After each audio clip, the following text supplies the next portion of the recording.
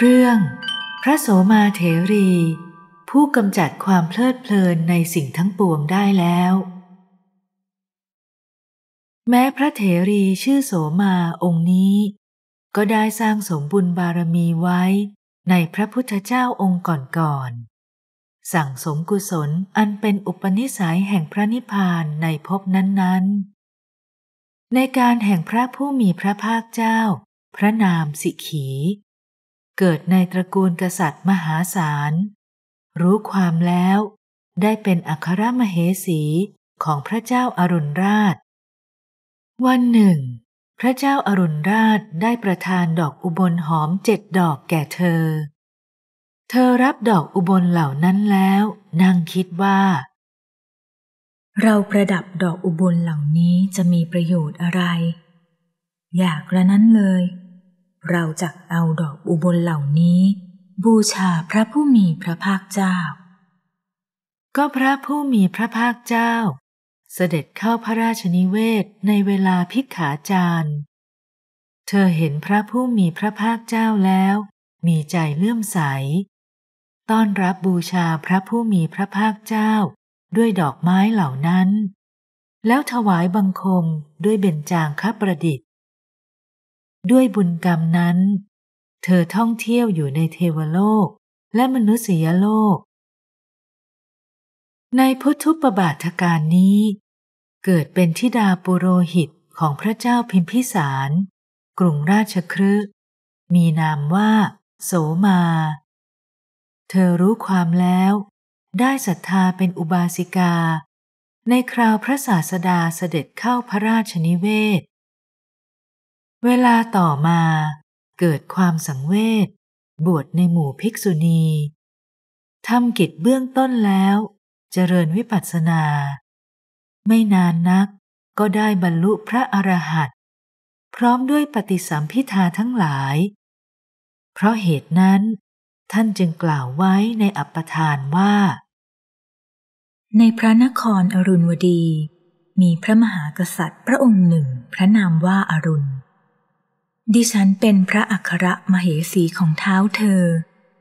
ดิฉันร้อยพวงมาลัยอยู่ ได้หยิบเอาดอกอุบล มีกลิ่นหอมเหมือนทิพมาเจ็ดดอก แล้วนั่งลงในปราสาทอันประเสริฐ คิดขึ้นในขณะนั้นเองว่า ประโยชน์อะไร ด้วยพวงมาลัยเหล่านี้ ซึ่งเราเอาประดับศีรษะแก่เรา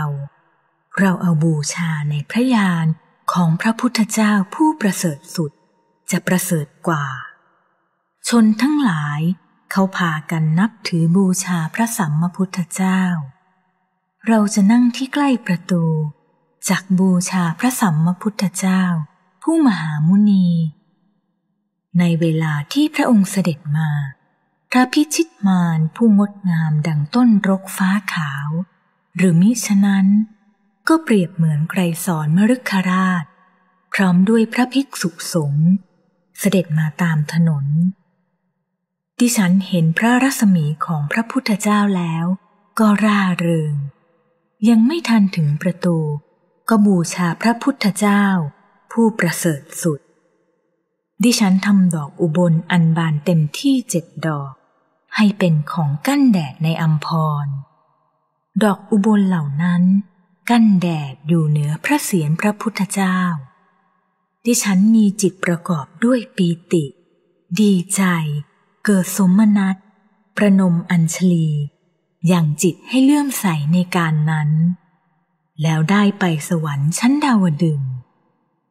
เหนือศีรษะของดิฉัน เขากั้นเสวตฉัตรขนาดใหญ่ กลิ่นหอมดังกลิ่นทิพย์ฟุ้งไป นี่เป็นผลแห่งดอกอุบลเจ็ดดอก บางครั้งเมื่อดิฉันถูกหมู่ญาตินำเอาออกไป ครั้งนั้นเสวตฉัตรคันใหญ่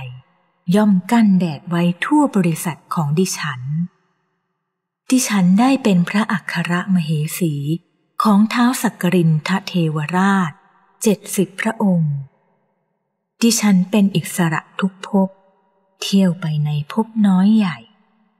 ได้เป็นพระอัครมเหสี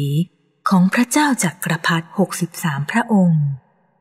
ชนทั้งหลายประพฤติตามดิฉันทุกคน ดิฉันมีถ้อยคำน่าเชื่อถือ ผิวพรรณของดิฉันเหมือนดอกอุบล และกลิ่นก็ฟุ้งไป เหมือนกลิ่นอุบลหอม ดิฉันไม่รู้จักทุกขติเลย นี้เป็นผลแห่งพุทธบูชา ดิฉันเป็นผู้ฉลาดในอิทธิบาท ยินดีในการเจริญโพชฌงมีความบริบูรณ์ในอภิญญา นี้เป็นผลแห่งพุทธบูชา ดิฉันเป็นผู้ฉลาดในสติปัฏฐาน มีสมาธิฌานเป็นโคจร ขวนขวายในสัมมัปปทาน นี้เป็นผลแห่งพุทธบูชา ความเพียรของดิฉันนำเอาธุระน้อยใหญ่ไป